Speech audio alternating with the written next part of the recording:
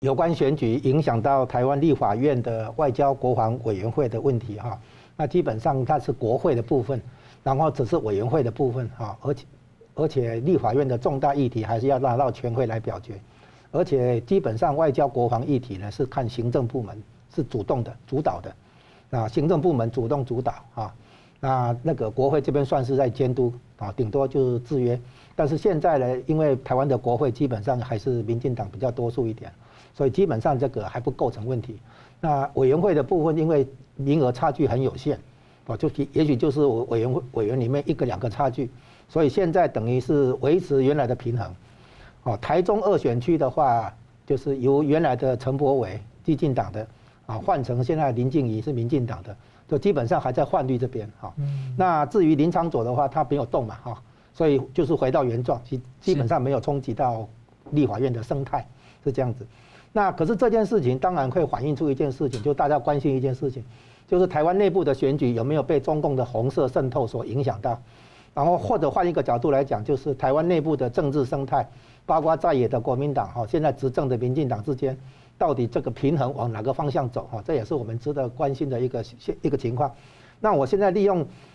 这个选举，我来讲一件事情，就是有关台台湾选民啊，是很聪很有智慧的，就是说他们不并不希望。看到在野党啊趴在地上被打趴在地上，这样不行的。就是说，民进党如果长期执政，也会腐败，也会出问题。到到时候哈，也是会民心啊，也是会也是会有产生民怨等等。所以呢，在野党这个，就是说国民党现在不能当让他当在野党啊，有他的道理。但是也不能让国民党整个他这个基本盘崩盘啊，被打趴在地上，这样也不行。暂时不让他执政，但是也不能让他看着他被打趴。对对对，就是说，在野党还是必须让他有生存空间。然后呢，期待这个在野党呢能够有足够的那个改变哈，能够回到执政的地位，是 OK 的哈。所以台湾选民并没有说特别去排斥国民党，但是因为目前国民党不能让他执政，所以呢，你可以看出一个重要现象，就是地方选举国民党会赢，但是中央的选举国民党赢不了。其实大家都没有看出这一点。上一次地方选举也是这样，今年又要地方选举了嘛。上一次地方选举的话，国民党赢得很漂亮。上次跟公投绑在一起很多的这个地方议题，你看二零一八年的时候哈，对不对？然后包括现在台中市长卢秀卢秀燕也也赢了那个陈林佳龙嘛，林佳龙是民进党的台的那个台中市长，他输掉了，对不对？所以你从地方选举来看的话，那个其实国民党有很大的那个机会跟空间，但是一旦到了中央层次的选举，国民党根本就赢不了。目前的局局面是这样，那这里就产生一个问题，就是。这个对国民党的发展很重要，就是这个在野党哦，我们不希望他整个被趴掉。现在如果他改不了的话，可能就只有一条路，就是新的在野党来取代国民党，那这样可能也不太好。所以民众党现在就是磨刀霍霍，强大的选民。但是他不见得能够真的取代国民党，把国民党的吸支持者吸过来。所以国民党的问题是这样子，国民党要成为一个现在好先做好在野党，然后以后变成执政党哈，重新回来执政，这是 OK 的嘛哈。用社会经济议题来。跟民进党较量才有希望，在国家安全这个层次的话，你国民党不反共还亲亲共的话，根本没戏唱。因为基于它整体利益，基于国家安全，国民党其实必须回到蒋经国的反共亲民的亲美的路线。六个字：反共、亲美、亲民。哦，大家记记好这蒋经国的六个字。哦，朱立伦就提过一次了。哦，所以国民党如果在大方向上、路线上不懂得回到反共的路线，配合全球反共的潮流。哦，你要提出来是反共保台，哦，那你如何跟民进党竞争？民进党其实没有反共，他只是亲美。然后呢，你你亲共以后不敢亲美，还要跟美国对着干，就提那个那个来来猪的进口问题。所以国民党自己把事情搞砸了。他只要大方向上回到反共的路线，在台湾内部的话，强调社会经济的议题，他完全可以重新取取得执政的机会，而不需要在那边自己。当个怨妇一样，到处这个缺乏自信，显得很自卑，完全没有必要。然后这一次台中二选区好不容易利用这个选这个补选，把台中的严家这个地方派系把它洗掉，国民党赶快利用这个机会推出新人，培养新人，不是很好的事情吗？干嘛一直好像非严家来来当选不可？没这个道理呀。嗯，是是，桑普律师怎么看？对。我觉得心有戚戚焉哈，就是看到台湾这个选举呢，这个看得到四个公投啊，在二零二一年底举行了，呃，而且在一月九号，今年的一月九号也有这两场选举，那一场是中二的选举，一场是北市的中正万华区的那个罢免案。那其实总括来讲，我觉得说是赢呃，民进党赢得非常惊险的。当然，这个结果就是我相当满意了哈。但是我觉得说结果满意不代表说不惊险。你看到台中二选区林静怡是八万八千七百五十二票，赢了严宽恒八万零九百一十二票，只是七千八百四十票。当然说这个是一个完全在统计误差的范围内，而且这个中二选区当然是非常艰，在民进党的角度来看是艰困选举啊，因为它是台中黑派势力的重点。那现在也是看到他费尽呃九牛二虎之力才能够打赢这个选举，不但打空战，还有陆战非常那个用功，而且他医师身份，尤其在沙鹿地区引起非常大的那个支持，所以这个地方是非常难，而且严宽恒有很多弊案。那看到他这么多的土地，各方面的，大家都看得到。卢秀燕燕也没有去好查这个问题，这个都形成一个呃媒体上报道焦点。北市林长佐，其实我觉得说赢得非常惊险。呃，他是之所以没有被罢免，唯一的原因是因为啊没有达到那个罢免的门槛，只差了八呃三千九百四十三票，觉得是非常少的数字。而且我觉得绿营的票根本没有吹出来，嗯，因为那个同意票是那个呃支持罢免的是五万四千八百一十三票，不同意的票是四万三千三百四十票，可以看得到绿营的票没有没有被被吹出来，而且那个绿营的票仓万华区是落后那个幅度最大的，其中有好几个里基本上都是呃那个支持同意罢免的高于不同意罢免很多。所以我看得到这个地方引起一个危机感，就是说，民进党就是刻苦经营的四大公投，但是北部，尤其是北北基啊，还有桃竹，都没有让那个四大公投完全同意的，是靠中南部，尤其是南部来撑起来的。那你看到这个选举结果，某程度上北南那个分开的那个板块没有基本上的改变，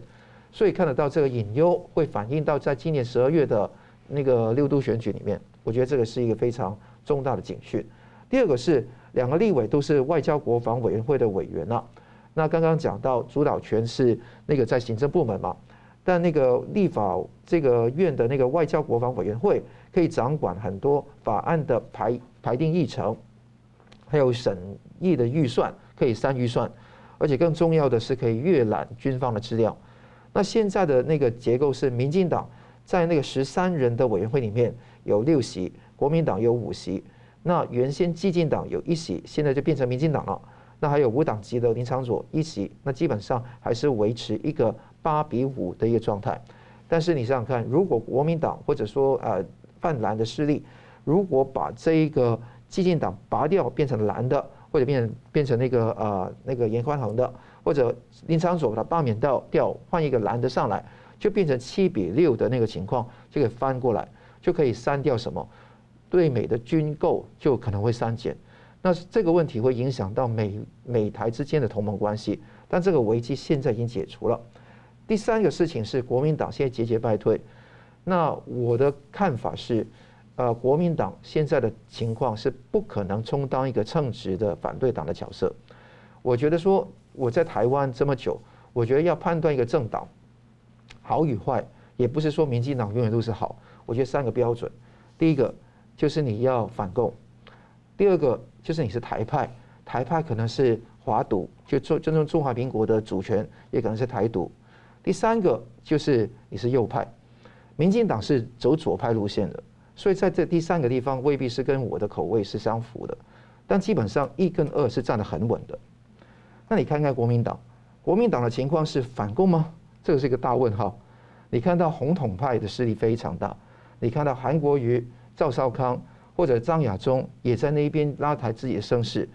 当然也是因为他们占据国民党里面一个很稳定的势力，但却没有得到全民的这个呼应，所以他每次选举都会输嘛。但是这个情况会有改变的可能性，这个很忧虑。第二个地方可以看到是你走一个台派的路线，某程度上有些国民党的本土派还是非常清晰的，头脑还比较清楚的。但是我觉得在大范围来讲，我觉得这是台派的地方，我觉得比较少。台是一个宽泛的定义啊，不是一个局限的定义。定基于这个本土的主权的，没错，主权的看捍卫。那第三个地方是那个右派，我觉得国民党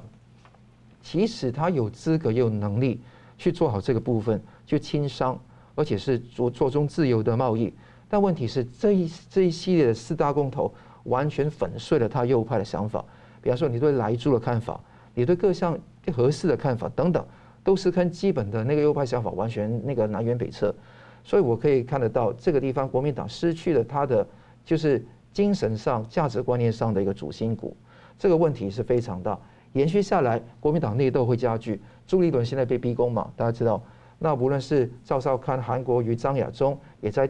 在做地方，也包围中央，各方面的也是难以服众。所以这个情况，他们内部要检讨，但我觉得检讨检讨出来，成为可以让他那个凤凰涅槃的机会不大。第四个地方是民意的外交官与各国交流，有国会交流，有国际交流空间。现在你看到林静怡跟朱立伦都非常及格的，林静怡跟朱呃呃不是朱立伦，林静怡跟那个啊林长佐都是非常及格的，啊林静怡基本上是以前当过外交那个国防委员会的一个其中一个重要的立法委员，你看得到他对于汉翔工业公司、风力产业、精密的机械打造一个自主的防卫机制非常上心的，你看到林长佐他办国外外交也是。台湾的国会的香港友好连线之一，所以跟无论是林静怡跟林长佐，某程度上都是有恩于我，好，就是我觉得说也是非常感谢。那他对于就是我们这个呃从香港来台湾这个族群，也是发挥非常多的一个帮助。所以看得到这个看得到他们在线上办很多外交，也是力撑香港议题，也对于台湾作为一个主权国家的处境非常呃在意。那我觉得说这个，我们因为希望他们能够加油努力。朱立伦讲过一句话：“谁在讲抗中保台，就罢免谁。”我不知道这句话放到现在还有没有用。如果没有用，他不改改选就南选北撤。如果不就不再改选易策的话，那我相信呢，这个国民党以后的路是非常难走。所以这个地方希望大家能够好好守护台湾。其实他去年才呃前年讲这个反共亲美就讲得很好，当时其实回应回响还不错的。那我很快很快补充一下，目前呢国民党有三种，就是整个国民党的发展在台湾哈，第一个是蒋经国的国民党，第二个是李登辉的国民党，现在是马英九的国民党。这其实哈现在是马英九的国民党把蒋经国的国民党赶出去，啊，马英九的国民党他走的是亲中路线，甚至于到亲共的路线，这是错的，他们没有搞清楚。中国中共所讲的大国崛起或中国崛起，其实关键在于搞好美中关系。邓小平搞好了美中关系，美国强力支持邓小平的改革开放才有的。那现在美国已经发现中共不不能遵守国际行为规则，美国开始抗开始来组成对抗中共的这个全球联盟。中共现在也没钱了，连统派的台商都要给他收割。现在国民党还还有什么期待能够从中共拿到多少好处，对不对？所以呢，国民党要醒醒过来。要了解说，你不要以为说现在中华民国在台湾这边的发展，走的是反共的那个前线，反共堡垒这条路线就走不下去了，这完全错误的认知。所以他们的亲中，他们以为亲中才是对的，这个路线是不对的。中孙中山创立中国国民党是要推进全中国的现代化与民主化，不是让你跑来台湾打台独的。所以这些国民党人最好要觉醒。啊，要回到反共的路线，回到民主的路线。我们共同的期待是在全中国建立民主中国，而不是你躲在台湾打台独，这不是你的那个出路。是，感谢老师。好的，那我们休息一下，来谈一下这个哈萨克的局势呢？这个现任的总统是要在美中俄大三角里面玩出什么那个杠杆呢？那我们休息一下，马上回来。如果您喜欢我们的节目呢，请留言、按赞、订阅、分享，并开启小铃铛。那么，感谢各位呢长期对我们的支持。新闻大破解团队呢将持续为您制作更优质的节目。